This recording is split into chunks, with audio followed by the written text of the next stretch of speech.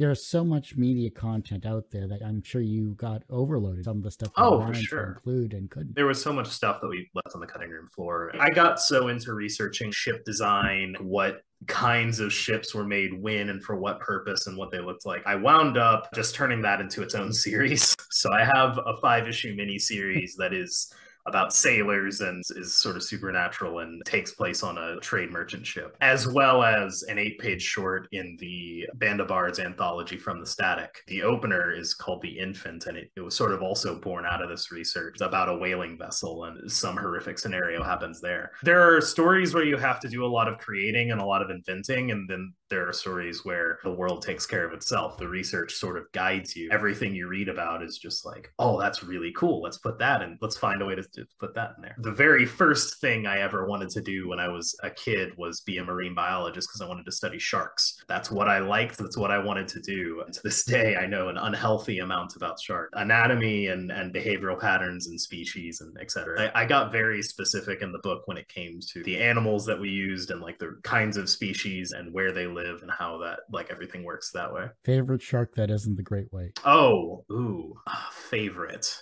So uh, whale shark is my favorite. Spiritually, I, I identify it because it's more plankton aren't really plants, but it's it's more it's it's kind of like a vegetarian, and I'm I'm a vegetarian. It's also giant and beautiful, and I there's nothing I want more than to to swim with a uh, whale shark. I love wobbegong sharks for how weird they are, but they're made to like blend in. So they've got this weird face stretches out, and they're sort of flat, and they're ambush predators. As far as like being a good shark, hammerhead is my favorite. It's the ultimate argument for evolution does what's efficient, not what's aesthetic, because it looks like an idiot but it is so much better at being a shark than most other ones. And then uh, cookie cutters are probably the weirdest little guys. Hold a special place in my heart. Cookie cutters are about that long.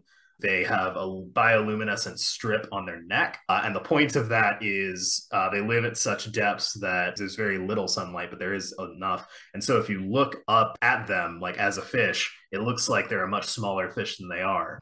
and so things will go and try to eat it. They will attach to the thing, create this little ice cream scoop of meat just out of them. That's why they're called cookie cutter sharks because it looks like they just have ball out this little scoop of them. We didn't know that they existed until the Cold War when we had submarines that we thought their sonar kept going wrong and we thought the uh, Russians were messing with them. Like we almost got fully into World War III and then a sub submarine surface and one was still attached to like to the rubber and that's how we discovered that the shark is even real.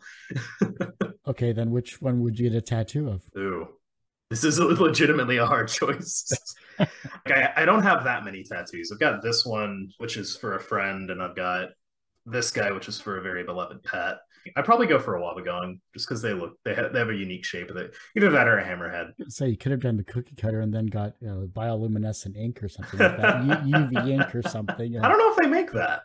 Interesting. It would either be like a great white where it's everyone knows what it is, or be one with a distinct, you know, shape. Another one that comes to mind. Sorry, I'm not going to keep just talking about sharks the whole time. I promise. But another one that comes to mind is the thresher shark has this like beautiful long tail that's the entire like length of the rest of its body and it uses it like a whip to stun fish. They generally travel in, you know, these tight little clusters and it's hard to get one individually, but you just shock them in the water so that they stop moving for a second and then you eat them it's it's a really cool hunting technique like well now i have enough content to have uh, favorite sharks of wells and uh, on youtube someone is asking the hard I've, I've never gone into a deep shark monologue on a podcast before so i know you're asking the right questions. So i'm gonna dive into what you like to do so i mean jeez